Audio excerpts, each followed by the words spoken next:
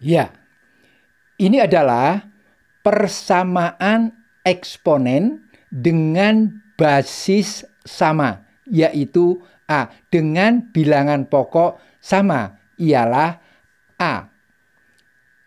A pangkat X kuadrat dipangkatkan 3 sama dengan A pangkat 12. Jadi ini basicnya bilangan pokoknya sama sama A.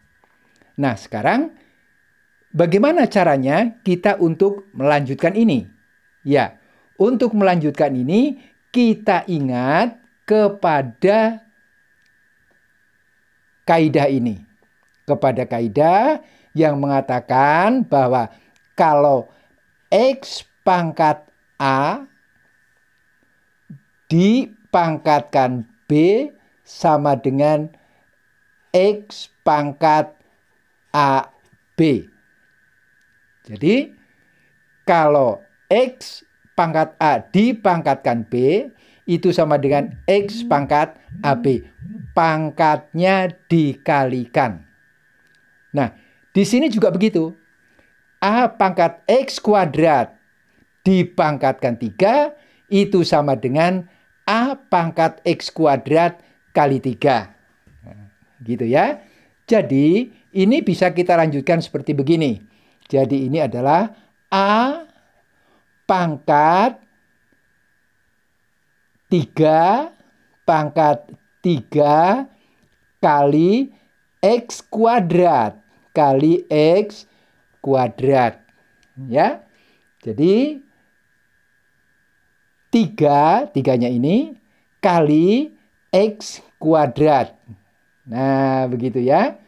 Jadi seperti begitu. Itu yang sama dengan A pangkat 12. Nah, A pangkat 12. Nah, sekarang ini bilangan pokoknya sudah sama. Bilangan pokoknya sudah sama bahwa ini adalah A dan ini adalah A juga ya. Ini adalah A, ini adalah A juga. Jadi kita akan lanjutkan, kita kalikan 3 titik X kuadrat itu menjadi A pangkat 3 X kuadrat sama dengan A pangkat 12. Ya, seperti itu. Nah, kalau bilangan pokoknya sudah sama, pangkatnya ini pasti atau harus sama kalau di sini ada tanda sama dengan. Jadi karena bilangan pokok sudah sama, maka di sini tandanya sama dengan, maka 3x kuadrat itu sama dengan 12. 3x kuadrat adalah eksponen daripada A yang sebelah kiri atau pangkat dari A yang sebelah kiri Kemudian 12 itu adalah pangkat dari A atau eksponen dari A yang ada di sebelah kanan tanda sama dengan. Sehingga kalau begitu, kita sekarang mendapat persamaan baru. Mendapat persamaan baru, tulis ini ya, tulis di sini. Bahwa 3x kuadrat ini itu sama dengan 12. Iya, sama dengan 12. Ya, karena tadi ini bilangan pokoknya itu sudah sudah sama ya. Ini bilangan pokoknya sudah sama, maka 3x kuadrat itu sama dengan 12. Nah, di sini kita hanya tinggal mengerjakan ini. 3x kuadrat sama dengan 12. Sehingga kita akan dapatkan bahwa x kuadratnya itu sama dengan 12 per 3. 12 per 3. Nah, begitu ya.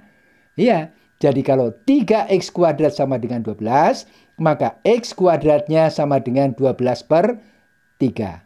Nah, sesudah didapat x kuadrat sama dengan 12 per 3, maka maksudnya tadi x kuadrat ya, x kuadratnya itu berapa? 12 dibagi 3 kita akan dapatkan 4. Nah, mudah ya. Jadi X kuadratnya itu 4. Nah, kalau X kuadratnya itu 4, maka X-nya itu berapa? X-nya itu adalah akar 4. Nah, itu. Akar 4. Berapa akar 4? Akar 4 itu adalah jadi X-nya itu adalah 2. Nah, akar 4 itu 2. Karena di sini pangkat akarnya 2 ya, tapi tidak ditulis. Nah, tetapi begini. Akar 4 itu boleh uh, kalau kalau dibalikan 2 dikuadratkan harus ini. Nah, sekarang negatif 2 pun kalau dikuadratkan itu akan menjadi positif 4. Oleh karena itu, di sini kita beri tanda plus atau minus. Maksudnya plus atau minus akar 4. Ini pun begitu. Jadi plus atau minus 2. Plus atau minus 2. Nah, artinya apa? Artinya di sini kita mempunyai dua buah nilai X. Jadi X yang pertama itu positif 2. Kemudian X yang kedua itu negatif 2. Nah, gitu ya. X yang kedua itu negatif 2. Jadi, dari soal persamaan tadi, kita dapatkan bahwa nilai X-nya itu ada dua buah, yaitu 2 dan negatif 2. Nah, gitu. Jadi tidak sulit, tidak sulit. Nah, sekarang apa mau dicek? Oke, mau dicek ya dari sini nih, dari sini. Atau dari sini juga boleh lah, dari sini juga boleh ya. Jadi dari sini kita akan cek untuk ceknya bahwa A pangkat 3X kuadrat itu apakah sama dengan A pangkat 12. Kalau kita masukkan X-nya itu 2, sudah jelas. Kita masukkan jika X-nya sama dengan 2, maka A-nya ini akan menjadi 3. Ini untuk untuk untuk X-nya X1 ya. X1.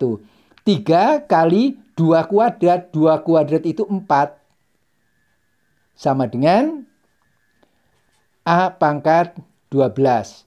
Dan ini kita lihat 3 kali 4 itu 12. Pangkat 12 sama dengan juga A pangkat 12. Nah lihat itu. Pangkatnya sama. Ini sama dengan ini. Oh. Jadi benar ya.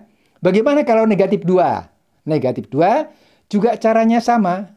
Negatif 2. Jadi di sini tinggal A pangkat 3 kali negatif 2 dikuadratkan apakah sama dengan A pangkat 12.